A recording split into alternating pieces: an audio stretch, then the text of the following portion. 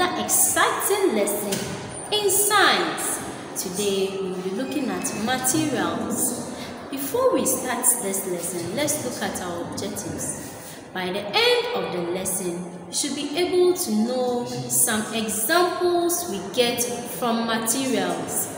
Some examples we get from materials. You should be you should be able to know the properties of materials the properties of materials. Before we begin our lesson let's look at our keywords. Our first keyword is materials. Materials. So when we say materials they are the things from which useful things are made from. So anything from which useful things are made from is called materials. The next keyword is properties. Properties.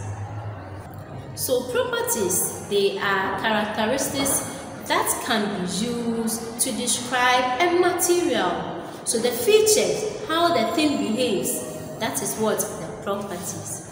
Now, last week we talked that we talked about some materials and its words examples. We said we have glass, we have paper, we have wood, we have metal, and the rest. Today, we are going to divide our lesson into two. We will look at some materials we have and its properties and some of the uses of it. So the first material we are going to talk about is glass. Glass. So glass is made from fine sand. Glass is strong and clear so if something is clear, the thing is transparent. Things that you can see through, they are what? Transparent. So glass is what? Transparent. Now look on your screen. Yes. So glass can be used for drinking glasses. Drinking glasses. Out of glass, we get what? Drinking glasses. Out of glass, we get bottles. Yes, out of glass we get bottles. Out of glass we get windows. The sliding window is made from what? Glass. The spectacles that your friends wear, they are also made from glass. Very good. Now let's move on to the next material, which is paper. So paper is very what? Important material. Many things around us are made from paper. Yes, you can look around. Good. So we can't see through papers. Can you see through papers? No. So this makes them a very what? Good material for writing and drawing. Some papers are hard. Yes, some are hard some are light and soft. So the properties of paper, paper is that it is what? It is hard, it is light and soft. So we can get paper files, toilet rolls, tissues, egg crates, and the rest from paper. So look on your screen. Yes, you have paper files there toilet roll there, toilet rolls, tissues, egg crates, paper bag, and the rest. Now let's move on to our next material, which is cotton. Have you seen a cotton before? Yeah, cotton. So most of our things, or most of the things we wear, are made from cotton. Now let's look at some the properties of cotton. So cotton are smooth in texture. They are very what? Smooth and soft. Yes, we get jeans, towels, t-shirts from what? From cotton. Cotton is used for making textiles. Yes, the fabrics and the rest, the thread, they are made from cotton. Bed sheets, duvet, covers and bedspread are made from cotton. Now, is this not interesting? Yes, it is.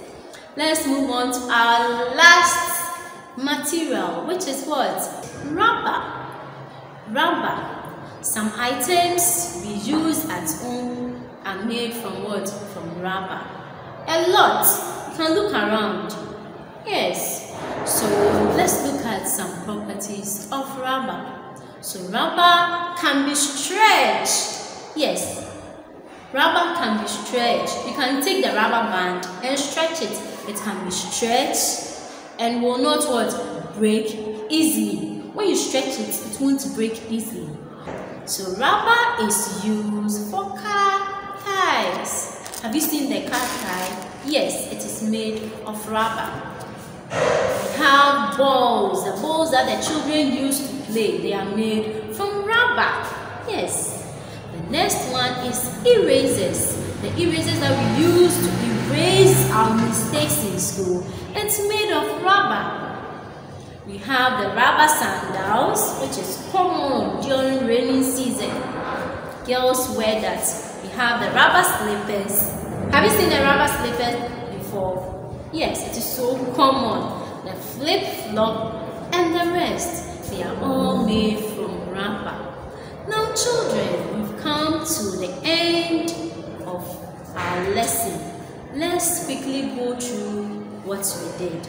Today, we looked at the properties of what some materials we have. We, we looked at the property of what glass. We said glass is transparent. It is what we can see through.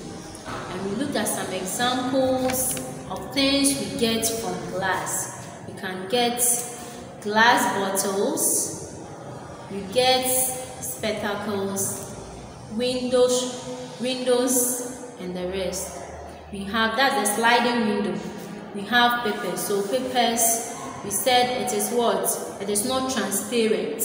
We can't see through. For paper, we can get toilet roll, we can get uh, we can get tissues, we can get egg crates and the rest.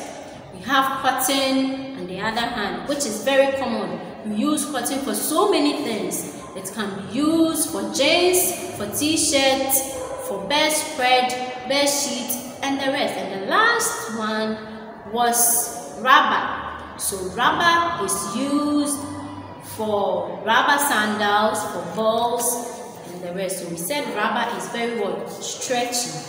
Okay, now be good children and always wash your hand with soap and water.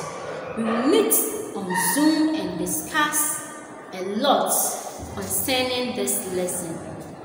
Till I come your way, bye.